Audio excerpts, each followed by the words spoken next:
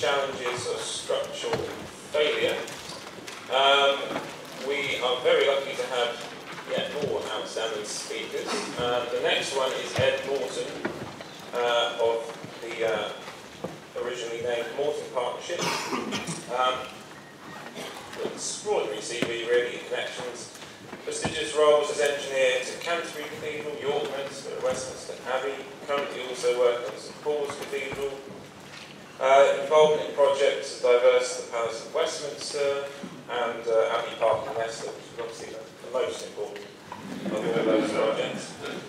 Um, means obviously Ed brings a, a really great insight from operating at very local projects but across the country and some really significant ones.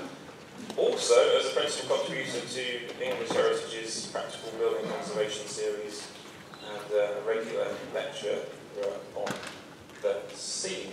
So. Thank you, Justin, and I uh, hope you're all refreshed and rearing to go after that short break.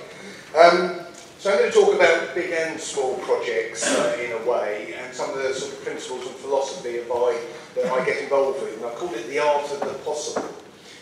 Um, and firstly, just to say, I which we just finished that, but I really put it up just to talk about CARE, so the Conservation Accreditation Register for Engineers. Please go to the website. I'm not going to say any more because Jess is going to talk about that a little bit.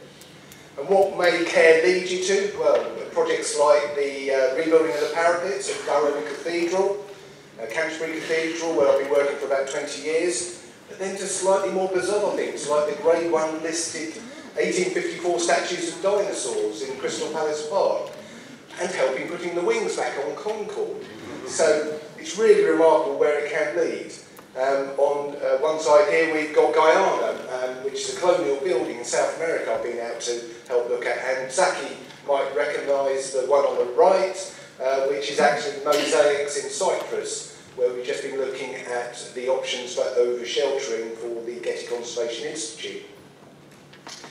And then just a, a few oddity projects. This is um, a building that was in the way of the high-speed rail link um, at the back of King's Cross. And we were asked to look at uh, whether we could help take it down brick by brick and rebuild it. And we said, well, we're not really convinced by that. So we said, can we move it as a whole building? Much more fun. 370 tonnes of it, and we did find a site, and we were going to put it in. Unfortunately, we couldn't find out who owned the site, so um, we had to move it elsewhere. Unfortunately, 370 tonnes, it would have disappeared into some tube tunnels. So we had to cut it into horizontal slices, uh, pick it up, stick it on the back of a lorry, trundle it down the road and then stack it up again. Sounds simple, doesn't it? Um, and there we are at the end of it. So green and painted um, uh, uh, on, uh, by the Camden lock action. Uh, here a, a slightly different type of disaster, and this is St Ethelburga's Church in the city of London. Which was uh, unfortunately uh, bomb damaged in the 1993 attack. And this is part of the work in rebuilding it, and this is rebuilding a rubble core wall. But on the right, you can actually see that we didn't try to replicate everything. We actually tried to show where some of the new work was and where some of the old work was. The roof was completely gone, so we put steel trusses in, in a sort of, not facsimile, but just so it gave you the gist of what was there. Here's a tower arch where we tried to reuse as many of the stones as possible. It all came down and had to be assessed on the ground. But now this is a uh, centre for reconciliation, peace and reconciliation. So they're not trying to hide their story, they want to actually tell their story of what's happened to them and how they've actually resurrected themselves from this terrible, terrible um, uh, consequence. But actually, as a structural engineer, you get as much enjoyment of doing these lovely little projects this is a Curtilage Bakehouse um, in Essex, and I got asked to go and look at because the builder had said the fireplace, the uh, uh, inside, had to come down. And the owner wasn't quite convinced about that. And actually, we didn't need to. It didn't really need very much work. So for a couple of hundred pounds, I was able to go out there and actually give advice, and that is, can be as satisfying as doing a major, major project. She was very happy, and actually the builder learned a bit as well uh, a leaning gateway, and that's really deeply. Um, this is St Moses Priory in Essex. You can see the uh, big uh, metal straps at the top coming down, which were restraining, stopping it fall over. Been on the uh, Heritage list risk register for a long time. You can see the way these buttresses at the back, that's a metal rod uh, a column which actually supports the top of the um, uh, gateway. And it's actually, on the right, you can see the pintles from the old door. And it was the pintles corroding slowly, a number of pintles, which was jacking the face of it up and causing the lean. So what do you do about that? Well, we opened up the joint where the movement was, put some wooden wedges in, and then took the pintles out and slowly pushed it back. Took the wedges out and it went back into upright. Really satisfying because the owner said it's not going to work, it's going to fall down. But it didn't in this area. It's, it's just a lovely little, um, and it's actually common sense. There wasn't a lot of engineering involved. There's certainly no calculations. So it's uh, almost uh, always possible to repair and reuse historic buildings and structures, but it depends on significance, understanding what you've got, both historically and actually how it's put together, viable use, of course, really important, money, some of that, not always a lot, and determination. And I think that determination and will to do something is really, really critical.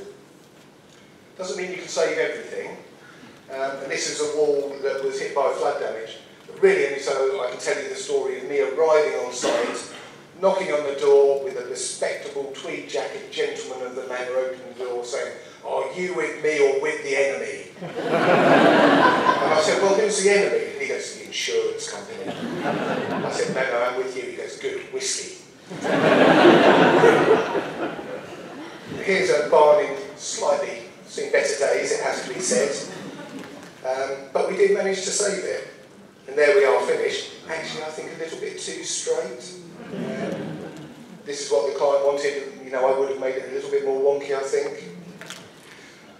Does bring me on to a point though. I think as a conservation engineer, we also have a very important role in educating other engineers, I hope. And um, uh, I'm going to talk about a project uh, uh, that Mike Brown has sort of mentioned my name basically a barn conversion where an engineer wanted to remove all the rafters and he also wanted to put some stabilising frames inside. Um, and Mike sort of said, okay, actually I want somebody to, uh, care engineer to have a look at this. So by the time it got to me, I think Mike had scared the engineer already because they'd already agreed the rafters could be retained. Um, but then I talked to the engineer, I said, so why, why do you want to put these frames in? He goes, well, wind resistance. I said, so has not the building been there for a couple of hundred years? Has it blown over? And he goes, no. I said, well, I've never done any calculations on wind resistance for a building that's been there that long. And he sort of thought about it, and he's now sent me a pack of information, taking those frames out, and just accepting the principle, it's been there a long time, it's worked, why change it? So I think that education is an important thing for conservation engineers. Of course, you do get ones which are much more badly damaged. This is also to West College, Grade 1 listed church. And again, the roof has gone completely, so we didn't try to replicate it. We put something new and fit for purpose for the 21st century. Rather nice on the right-hand side, they actually used some of the charred timbers to form a cross. Uh, one uh, with Heritage Lincolnshire, who are outside on a stand. Um, this really was uh, in poor condition. You could hardly get inside the building for the amount of scaffold inside. It was just absolutely littered with it see quite significant movement um, through the windows, decayed structure everywhere, and that's it, finished. And yes, it was hard work, and we had a contractor who wasn't used to doing conservation but was prepared to learn. And there were some changes. We got rid of the single story extension, but then put a stair tower in um, to provide access to all levels. And here we are finished, and in reuse. So it's amazing what can be done with the right will. Why do these buildings actually, are we able to do this? Well, they're incredibly flexible actually. They're really tolerant, mainly actually people. But here's the bus that hits, hit this building. We had one cracked timber and one pane of glass, and that was it. I think that really does tell you how incredibly tolerant they are. Compliance with modern regulation, this one doesn't. Still there though.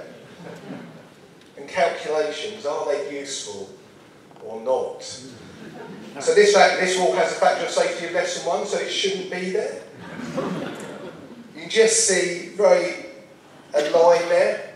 So there used to be a shed against it, which would be great, a nice little buttress to support this wall. In the 87 gales, the shed got blown up, the gable stayed there. So there's interesting discussions about liability and insurance and whatever, but basically said to National Trust, provided you keep it consolidated, there's no reason it shouldn't survive. We did look at the risk, if it did fail, who would be hurt, and it's mainly cows. So a few future challenges, and it's something that Zaki mentioned as well, but climate change. And we are getting bigger winds, and this is a sort of fairly dramatic top of a, spar which got physically picked up and moved sideways. and uh, here's a roof to a church in Lincolnshire uh, where a, a, mini tornado went through. It's a rather Gaudi-esque style roof now. but rainfall as well. I mean, it's a big issue. Certainly, uh, this is Canterbury Cathedral, the drains. It no longer can cope with the rainfall that we're having these sudden huge deluges, and they just don't work. So we're having to think about secondary systems or improved drainage. Thermal changes, so greater heat. Um, here's a lump of stone that fell off the Great South Window at Canterbury, and uh, it was caused, it happened on a day when it was very hot. There's these metal tie bars running through each um, transom level, which we think expanded, although there's some corrosion as well and ground movements, uh, the longer, drier periods that we are having. Um, uh, last uh, September, October, at the end of the very dry summer, I think I went to about 30 churches which had moved. But we should remember that actually sometimes it's happened in the past as well. You see some unusual things and things you can't uh, really uh, believe. This is a rather wonderful church in Kent. These are the oil uh, trusses that's one timber. and there's 24 of them in that church. And I had to do a double take and actually really go back and say there must be a joint here somewhere, but there wasn't. Uh, local knowledge. Um, anybody know what's caused that? It's of course the 1884 Great Earthquake in Essex. Now if you don't know about that and you're going to visit buildings in that area, then you can misunderstand uh, signs of movement, etc. So local knowledge, talk to people. Um, a case in Norwich we looked at a few years ago, not a very good slide I'm uh, afraid, but you can see the roof is slightly above floor level, so it's going to push out on the walls. So the city engineer's solution uh, was the, the steel work that you can see in there, but you can't use the space anymore, which is pretty hopeless. Those plywood gussets at the back is our solution. So connecting the roof to the floor and all the steel work goes. And it's common sense, it's easy, it's simple. It didn't require calculations. I said it again, haven't I? Um, short case study for a um, rather unusual structure which was in structurally very bad condition. The Hermitage, we don't actually know what it is and why it was built uh, at Braxton Park. We know it was there in 1822. Um, and we have this rather unusual plan we've got a brick dome in the middle, a vault running around the outside, and this is a little terrace uh, um, onto the lake. And that's the dome on the inside, not great condition. See some of the signs of major cracking. The Yorkstone lintels between the pillars, some of them not supported. And here's on the outside. It had a great big iron strap around the outside of the barrel to actually stop all those thrusting forces. But of course that had corroded and it had gone. So everything was just relaxing, pushing outwards. And here again some of the images of the cracks. So it's pretty significant and um, you know it was a bit of a head scratcher. Distorted all over the place. So what do you do? Well, um, you want to do as little as possible, obviously. And how to fund? Well, this one was funded by Historic England grant and uh, it was topped up by a Country Houses Foundation grant as well. First thing, treachery worked, so we actually restrained around the barrel to stop it going any further. We then took off the York stone slabs over the top of it, and this revealed the rather fantastic vaulting. Uh, must have been a master bricklayer who did this, I think. Um, had a small oculus right in the middle, tree roots growing through some of it, had bats of course, Um, and then just a little diagram. So we put a new restraint strap around it um, to provide that resistance to the thrust. And there we are repairing the brickwork slowly. There's our back bricks that we had to put in. But we didn't try to correct any of that distortion. So we just actually stabilised it in its current position. And there's no way you could get it back. We did put occasional stainless steel flat plates in under some of the York stone lintels. There's a view up, and again you can see the distortion on the right hand side, and the little holes at the top are perpends which have been left open for, yes you can get it, bats. And this is the uh, exterior um, of it uh, repaired. Again, we haven't tried to push anything back, we've just stabilised it where it is. And so we still don't know what it is. How are you doing, Justin? Nearly, okay. Um, So I've only got a few more, and this is Willerton Hall, and I, I, I wanted to show this first because it's in Nottingham. It's a rather fantastic building, um, uh, 1580 by uh, uh, the architects uh, Smithson, who also did Hardwick Hall, Longleat, did it for Sir Francis Willoughby, who was the owner, very rich coal merchant, um, rather fantastic building, and this is the prospect room at the top. Which does have a floor in uh, just above the windows to the Great Hall. And inside we have a Chinese lattice floor. So this is a floor structure where none of the beams actually meet clear span across. So they sort of chase each other around the room a little bit. Why did they do that? Well, it's a 10 metre span, so actually could you find timber switch long enough? Possibly not. Or was it actually that Sebastian Serlio had written a book in 1545, um, Italian architect, arrived in England in 1566, and it's got a Chinese lattice flooring. So was it the architect saying to the client, saying, oh, this will be fun, can you do one of these? or was it the client saying to the architect, I want one of these, it's in my book? We don't know. But what happened in the 1950s, uh, it was used by the Canadians during the war, Um, and in the 1950s, um, the floor was condemned. The surveyor went in there and said, it's got to come out, it's in such a poor condition. Luckily they didn't, um, uh, but they did put these steel trusses in over the top, which means the prospect room has not been used for 50 years. Uh, below on the right is the Great Hall, which is immediately below it. You can see the hammer beam trusses, but they're non-structural. They're all just boarding. And it doesn't physically connect with the, uh, the floor above. So that uh, Chinese lattice floor is completely independent of this Great Hall. A level survey, where we had about 230 millimetres of deflection, and rather decayed beams as well, as you can see. But importantly, on the right-hand side, it had been re-levelled, and through the historic research, um, uh, it was found that it was by uh, Wyatville in about 1830 from memory. And those furrows were actually reasonably level. So remember that. So what was the solution? We put some little angle brackets between the beam, beam connections. So all those beam connections had opened up a little bit and it all settled down and we put angle brackets in. Cost about £8,000. And that was really all we did. So actually, the, story or the bit I really want to get to is actually this building had worked from 1580 through to 1950 and actually probably was okay at that point. So we haven't tried to do very much, we've just tried to help it along a little bit. And I think that's a really important thing to take away that actually you often don't need a lot. The scaffolding and everything else that went, out, went along with this obviously were hugely more expensive.